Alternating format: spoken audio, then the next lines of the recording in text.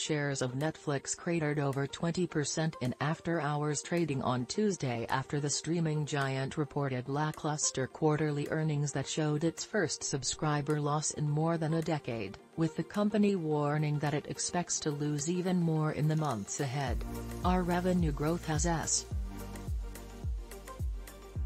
households sharing accounts, combined with competition, is creating revenue growth headwinds. Shares of Netflix have struggled this year, falling over 40% amid the wider market sell-off so far this year.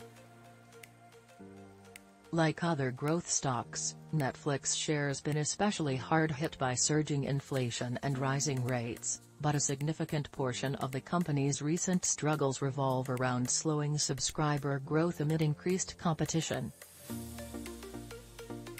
Rival platforms have been spending more money in a bid to gain market share as the streaming wars heat up.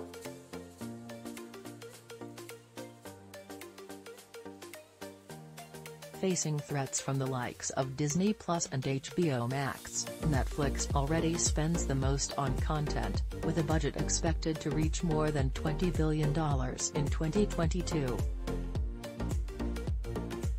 Robinhood shares jump 5% after deal to buy UK crypto app Ziglu, Forbes, IMF sounds alarm on significant slowdown as Ukraine war and inflation slam global economies, Forbes stocks fall, rates climb ahead of big earnings week that includes Netflix and Tesla, Forbes recession calls grow as inflation T